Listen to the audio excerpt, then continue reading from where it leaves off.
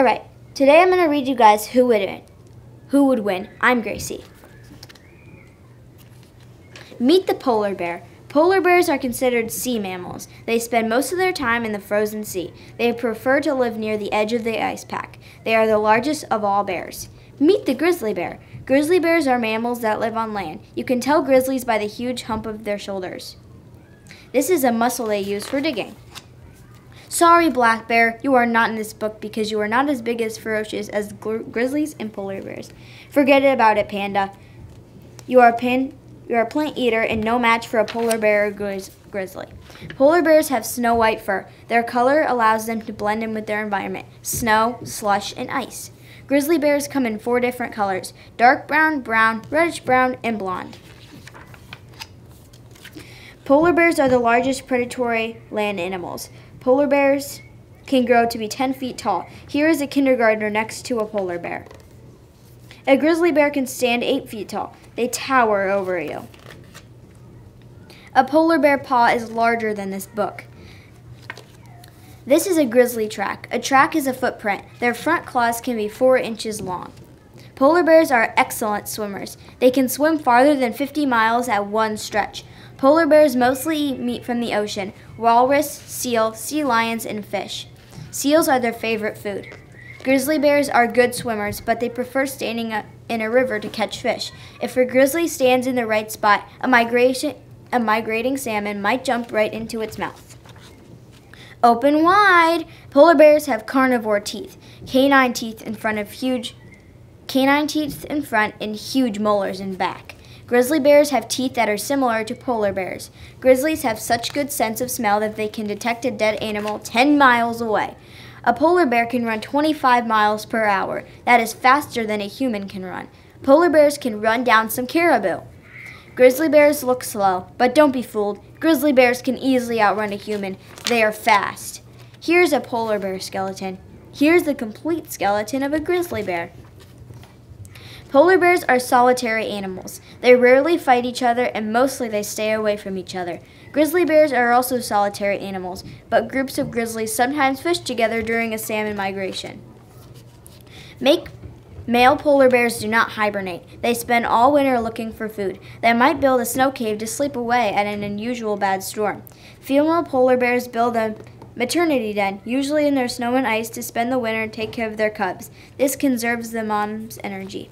Just before winter, grizzlies eat as much as they can to fatten up for a long sleep. Grizzly bears have a deep winter sleep, but it is not true hibernation. A grizzly can wake up and suddenly attack you. In the springtime, grizzlies are hungry. Watch out! And here we have some little stories you can read on your own at home with your new Who Would Win book.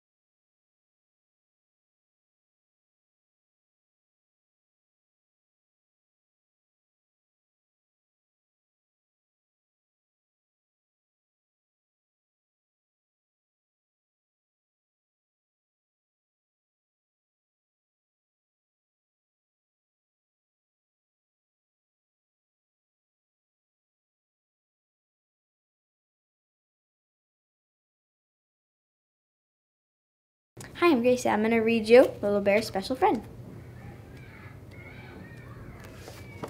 One morning, Little Bear woke up from his deep, winter long sleep.